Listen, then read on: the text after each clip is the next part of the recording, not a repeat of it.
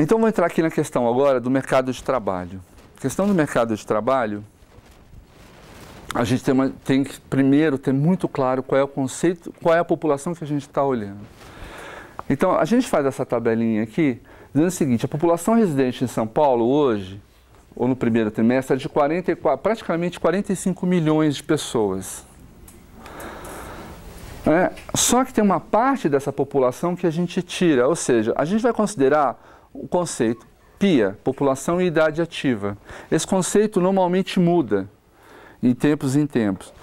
Ah, o IBGE e a Fundação SEAT considerava as pessoas que tinham mais de 10 anos, mas ela vai considerar as pessoas que têm mais de 14 anos, seguindo a chamada PNAD. Todo mundo está familiarizado com PNAD ou não? PNAD contínua que dá a taxa de desemprego é, para o Brasil hoje e na Fundação SEAD você tem a taxa de desemprego para a região metropolitana. Agora é importante isso aqui, inativos. Inativos são estudantes, donas de casas, ou seja, são pessoas que não estão no mercado de trabalho. E aí você tem essa força, de, tem a força de trabalho, que hoje em São Paulo corresponde a, a basicamente 25 milhões de pessoas. Uma parte dela está ocupada. E, uma, e pela, pela PNAD, você tem uma, ocupados 21 milhões e desocupado 3,5 milhões. Uh, a gente chamava de desempregados, a PNAD chama de desocupados. Qual é a importância de você entender esse conceito de inativos? É, por exemplo, pessoas que trabalham em presídios estão na conta dos inativos? Presídios.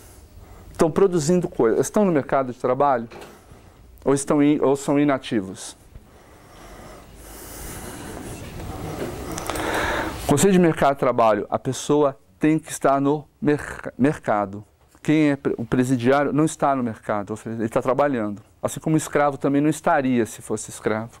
Se ainda, quer dizer, se ainda fosse escravo não, se ele pudesse ser contabilizado.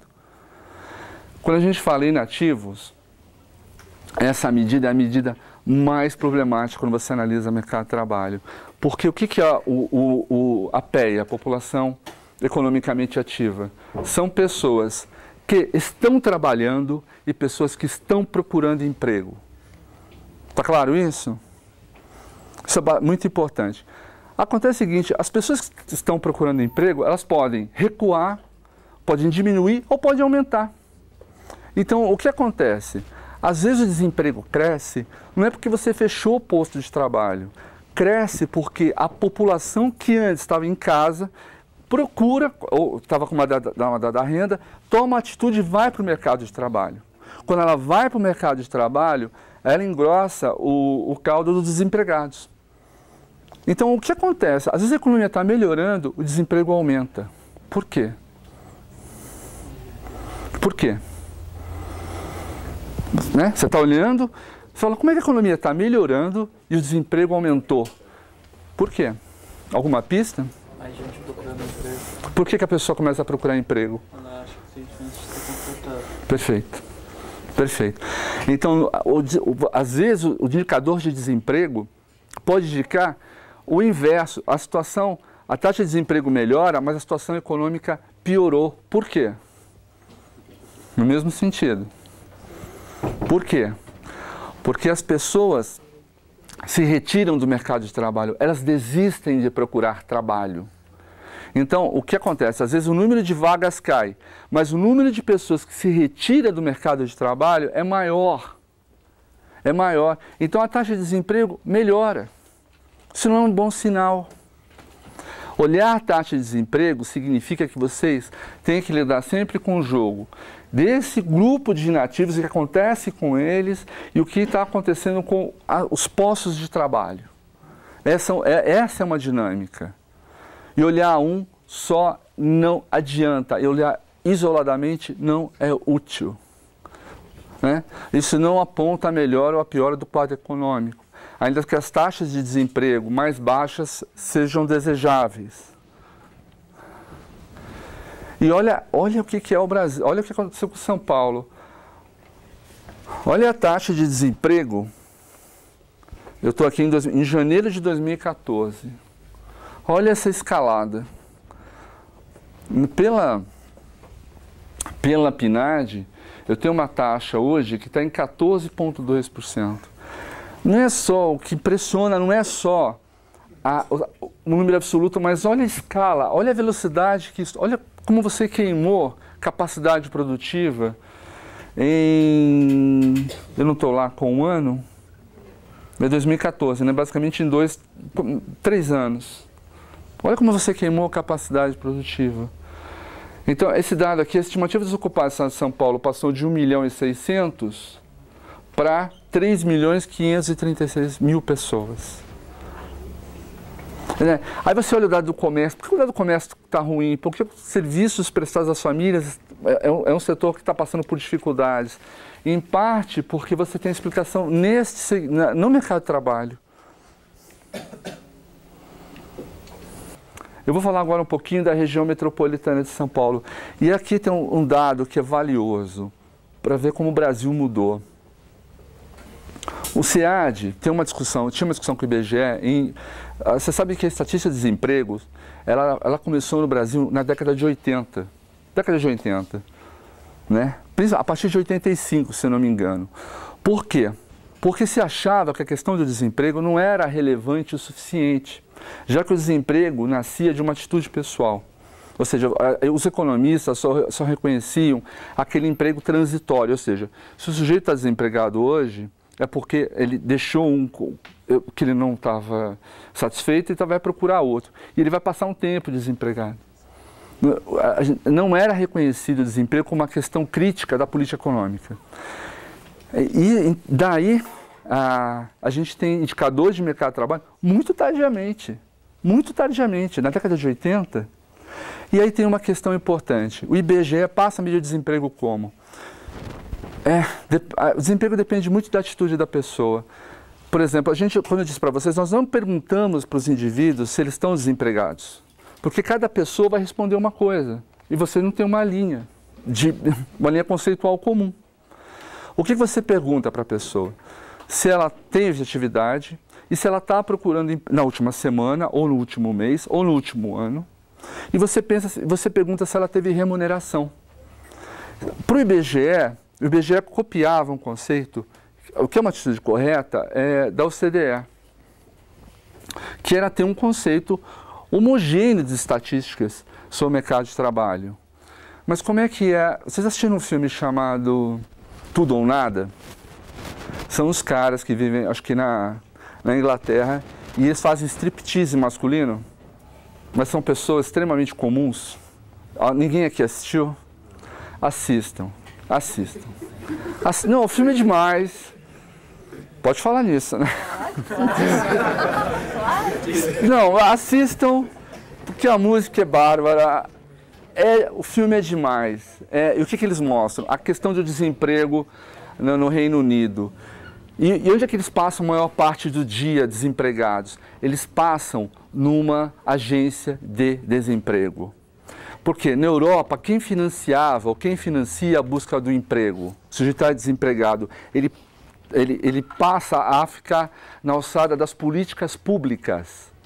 Então, quem financia, via, por exemplo, salário de desemprego, que no Brasil entrou muito tardiamente.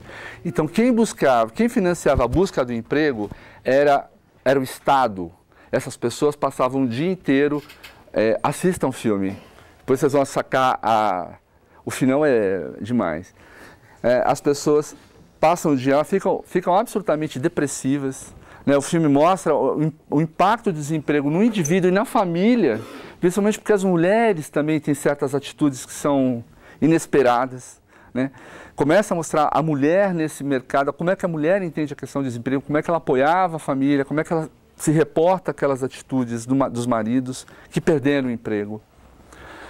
Agora, no Brasil é um pouco diferente. Quem no Brasil financia a busca pelo emprego? Quem? Quem financia a o transporte, o lanche, a compra do jornal? É o próprio indivíduo. E o que esse indivíduo faz? Bico. Essa palavra bico, emprego é, formal, informal, é muito ruim. Não, nunca utilize isso, você está muito, muito pé no chão, que significa esse negócio de informal. Porque a gente não usa essa classificação informal. Todo indivíduo tem algum lugar no mercado de trabalho. é, como na Europa, os, quem financia a busca é o Estado, o IBGE diz, bom, se o indivíduo tiver remuneração, ele está empregado. Então, se ele pintou uma casa, fez instalação elétrica para o vizinho, este indivíduo, para o IBGE, está empregado. Se ele, fez o, se ele limpou o quintal do vizinho e teve remuneração, ele estava empregado. Quando entra em 85 o SEAD e o IBGE, dizem não, não, não, não. O mercado de trabalho em países subdesenvolvidos tem outra característica. Esses indivíduos estão em, em alocação, estão uma alocação precária do seu tempo. Portanto, eles estão, é desemprego oculto pelo trabalho precário. Mas são desempregados. Então, as taxas de desemprego do SEAD e do IBGE eram completamente diferentes. Isso gerava uma discussão política gigantesca. Gigantesca. Foi um grande debate que hoje perdeu bastante sentido. Agora, eu, então ficou claro essa coisa do desemprego oculto e do desemprego que a gente chama de aberto? Ficou claro para todo mundo? Mas olha essa estatística aqui. Tirando que hoje a gente tem 18,6% de desemprego na região metropolitana, quando a gente teve crises em outras épocas, por exemplo, em 1995, 1996, a taxa de desemprego oculto, oculta era de 8%. Por que numa crise que é mais grave, este contingente de desemprego oculto é apenas 3,1%? Apenas é modo de falar. O que aconteceu no Brasil para que a gente tenha uma diminuição do contingente de desempregados que estão fazendo bico? Esse dado caiu para a gente ano passado numa discussão assim, de conjuntura também. O que aconteceu? O que aconteceu? Por que as pessoas estão fazendo menos bicos, menos é, ocupações Porque a melhor hipótese que a gente tem, o Estado brasileiro mudou. Então hoje você tem políticas que conseguem absorver o impacto do desemprego. Por mais por, por, pior que a situação esteja, a gente ainda tem um conjunto de políticas públicas que o indivíduo tem transporte, salário, desemprego, alimentação, em que ele não precisa procurar essas formas de trabalho que, alternativas. Então a gente está mais parecido com a Europa na década de 80. Década de 80. Não estou dizendo que nós somos europeus hoje, muito longe disso. Mas este resultado aqui é, provavelmente, se não é, não é uma certeza, é um acolhimento que o Estado fez, que o Estado dos desempregados. E ela se reflete no mercado de trabalho desta forma. O desemprego aberto, explícito, é 15% o oculto é 3. Isso aqui era, chegou a ser 8. Numa crise que hoje é muito mais aguda. Então, a valorização das políticas públicas no mercado de trabalho, elas aparecem nessa situação. Agora, aqui é chocante demais. Se a taxa de desemprego é 18%, a gente pode estratificar por faixa etária. Então, e todo mundo dizia, né? Oh, desemprego é um problema das pessoas mais velhas. Isto aqui são os jovens de 15, 16 a 24 anos. A taxa de desemprego hoje é de 37,7%. A taxa de desemprego de quem está entre, tem entre 25 e 39 anos, 15%. Ou seja, grande parte do contingente de desempregados que a gente tem hoje na região metropolitana de São Paulo são jovens. Agora, qual é a dificuldade para fazer política para esse jovem, política de desemprego para esse jovem? Quais eram as políticas é, para você conseguir combater o desemprego na década de 80? Uma coisa chamada frente de trabalho. Todo mundo já ouviu falar sobre isso em algum momento, né? Você faz frente de trabalho. Agora, este, este menino aqui, este rapaz, ele é escolarizado. Ele tem ensino fundamental completo e uma boa parte deles ensino médio. Como é que você faz para colocar jovem com essa escolaridade em frente de trabalho? Não dá. Ah, e, e, essa coisa está mexendo com a gente, ou seja, que tipo de política pública você faz para conseguir segurar este jovem em algum momento, em alguma ocupação, para que ele não vá para o tráfico de drogas, para que ele não vá para para o próprio consumo de drogas e esse tipo de coisa. Mas hoje a gente tem quase metade dos desempregados na região metropolitana de São Paulo, que são mais de 2 milhões de pessoas, estão nessa faixa etária. E se vocês querem saber o tipo desse menino, é o rapaz que fala. É tipo aquele rapaz, aquele menino que fica na, na van. Já pegaram van? Não, né? Na USP ninguém pega van, né? É o menino que fica na van. Ele tem. Se você olhar aquele menino, ele é filho de ele é filho de imigrantes. A gente fez uma pesquisa sobre isso uma vez para ver essa, quais são os novos pobres em São Paulo. E é impressionante. Não são não são migrantes, são filhos de imigrantes.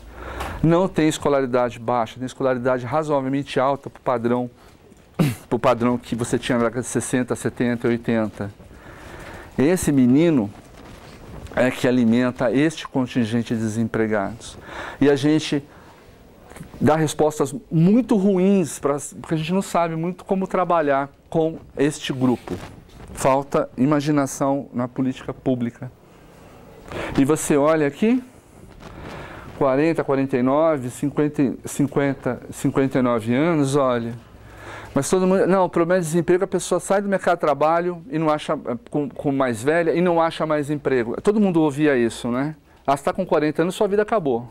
Se você for procurar outro emprego, mas olha o que é o senso comum e olha o que é o dado estatístico.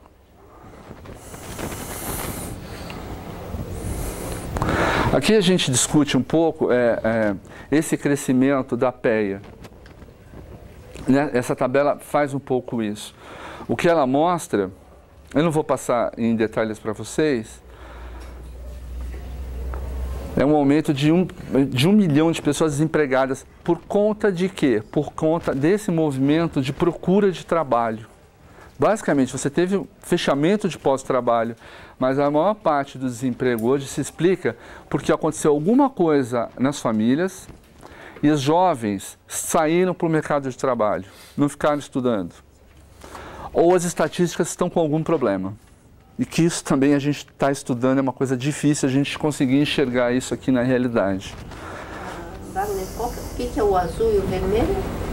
O azul é a pé e o vermelho? São os desempregados, é são as ocupações.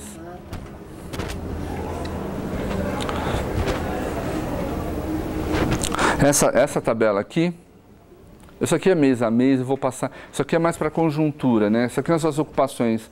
Abril, março, abril, abril. Quer dizer, eu estou pegando aqui um ano e aqui eu estou pegando o efeito mais conjuntural.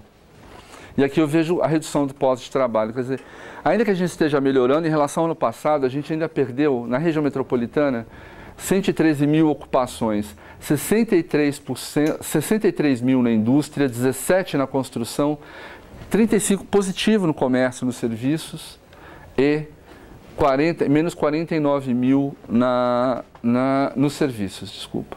O comércio aqui conseguiu 35 mil e serviços menos 49 mil. Quando você olha esses dados, é realmente impactante. Pense que várias cidades do estado não têm essa população aqui. Mas eu vou passar por isso e aqui é um dado que a gente precisa estudar mais também. Vejam, aqui esse índice é um índice base média 2011 igual a 100. Se você olhar em janeiro de 2016, aí, o, o, o, a, os empregos no setor de serviços eram 104, o índice. 4%, 4,7% a mais que a média de 2011. Se vocês olham aqui, está em 102, ou seja, o setor de serviços é que vem segurando a onda. Olhem a indústria, esse em vermelho. A indústria está em 75%, perdeu 25% em termos de índice do que era em 2011. Então, esse impacto da queda da, na indústria se rebateu na atividade industrial e também no seu mercado de trabalho. Esse aqui é um, é um dado apavorante. Apavorante. Né? Isso aconteceu também na construção. A construção civil está com uma média de 87%, o comércio 94%.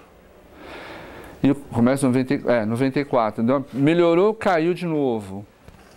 Mas é, se você olhar o que segura o emprego hoje das pessoas, ainda é o setor de serviços.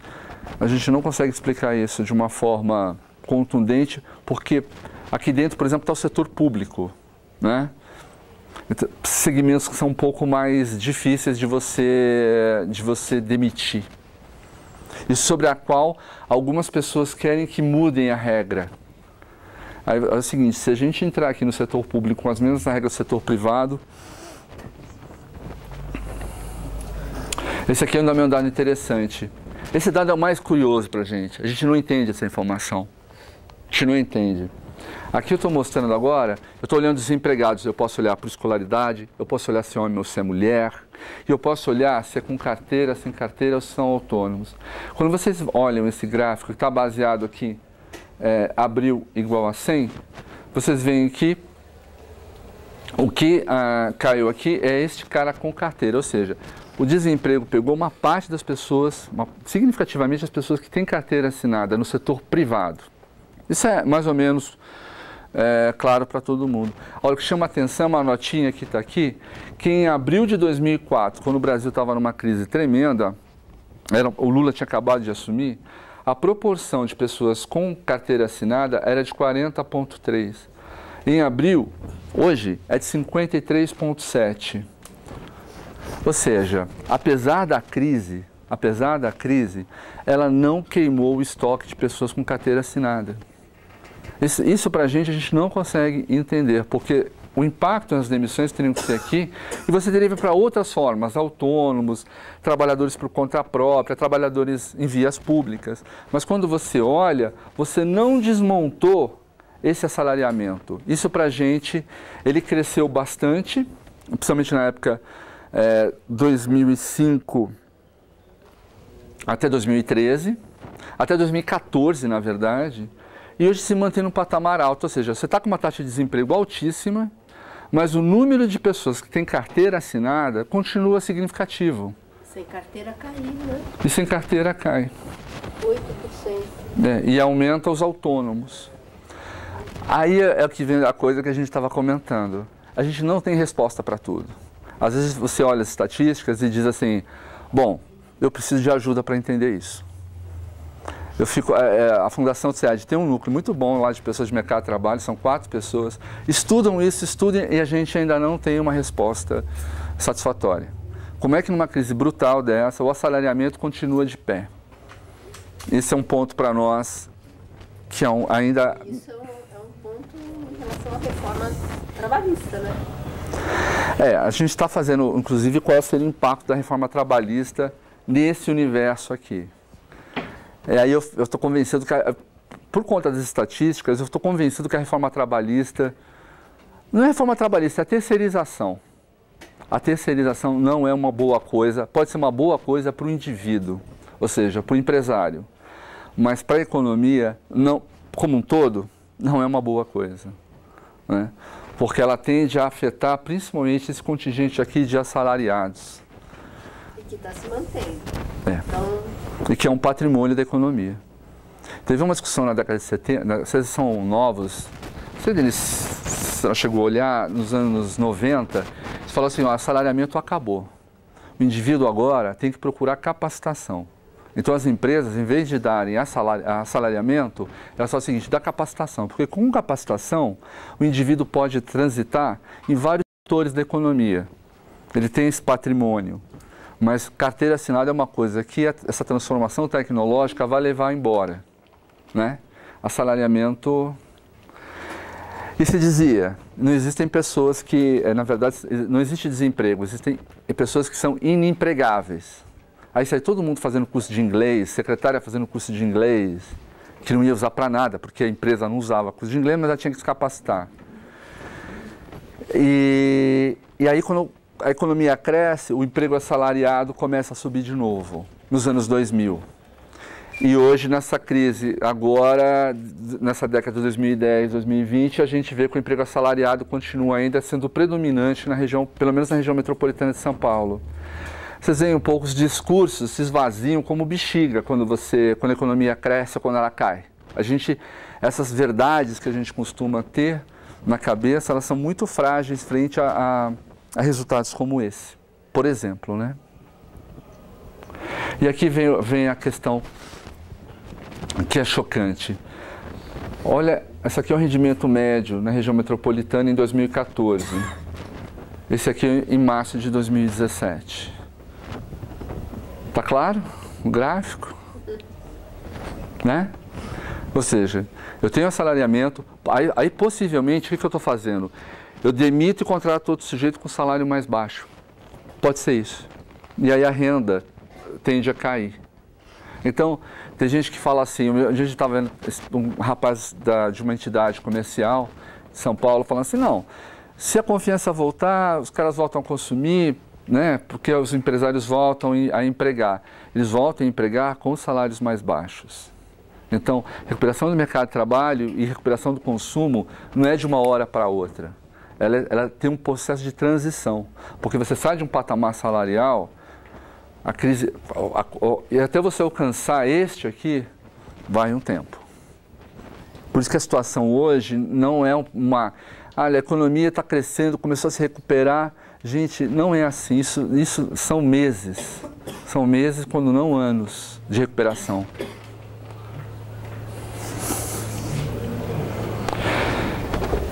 E isso daqui é a massa salarial disponível. Ou seja, o que é a massa salarial? Você pega o número de pessoas que estão trabalhando e multiplica pela renda que elas têm. Olha, olha como a gente. Aqui é 2000 e, é 2000 e, é 2015, 2015, 16, é, abril, desculpa, abril a março, abril 15, março 16, abril 16, março 17, são dois anos. Olha, olha a queda do rende, olha a queda da massa salarial. A gente perdeu uma. A, a, a perda de poder de compra foi de 18,3 bilhões de reais. Aí entrou a coisa do, do, fundo de garantia. Ah, não entrou o negócio do fundo de garantia, que as pessoas podiam. Aí você vai olhar, esse contingente é insignificante frente a essa renda que foi perdida. Agora você vai olhar no jornal e vai ter gente lá que diz que a economia melhorou por conta do fundo de garantia que foi liberado. Não é verdade. Aquilo é um contingente muito pequeno frente a essa perda aqui do poder de compra da população. Outra fonte que vocês podem usar é, aquilo são pesquisas domiciliares, ou seja, a gente vai na casa do indivíduo. Outra fonte que está disponível é, é a, alguém conhece o Raiz Caged ou não? Não usaram ainda? Vão usar muito. Todo mês as empresas são obrigadas a informar o número de pessoas que, que ela que tem na empresa. Essa informação é disponibilizada publicamente para o Brasil, os estados, setores, enfim. E ela mostra que na, só emprego formal, tá? Só quem tem carteira, tá certo? De uma, de uma queda de 570 mil desligamentos para a gente alcançar uma queda aqui de 232 mil em 12 meses. Ou seja, a situação isso. Bem, é verdade. Ou seja, quem saiu e quem entrou, esse saldo me dá o saldo líquido. Então, anualmente, esse dado anualizado vem melhorando. Mas ainda está num, num déficit de 232 mil pessoas. Só, esse é no estado de São Paulo. Ia falar na região metropolitana, mas não é. E esses aqui são os saldos que você tem, as variações por setor na, no, no estado também. Ou seja, aqui é só para mostrar que você pode fazer isso por setor e pode escolher o período que você quiser. Você pode fazer a variação absoluta ou a variação, a variação relativa ou a variação absoluta do número de uh, empregos. Eu falei que acabou?